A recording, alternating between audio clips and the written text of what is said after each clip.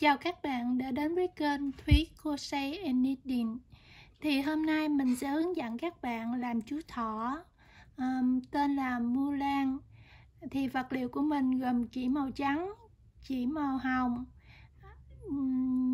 Đồ à, điếm à, uh, mũi à, chỉ thiêu để mình thiêu mũi và miệng của chú thỏ à, safety eye đồ đánh dấu và à, bông.